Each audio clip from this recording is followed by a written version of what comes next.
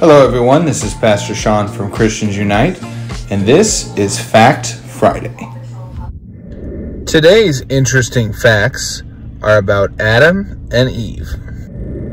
Fact number one Adam was named after the elements he was created from. Fact number two the name Eve means to give life.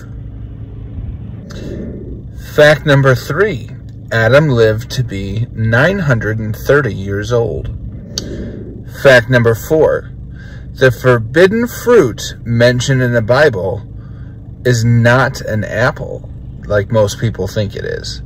Uh, it doesn't actually mention what type of fruit it is at all. Fact number five the story of Adam and Eve is different across the world, so there's different variations of the Bible story.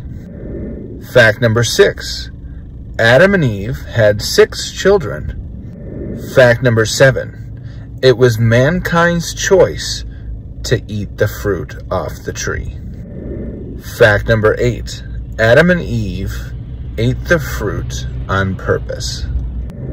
Fact number nine many religious groups considered Adam and Eve to be saints. The final fact is that we don't actually know when Eve passed away. It's not written in the Bible.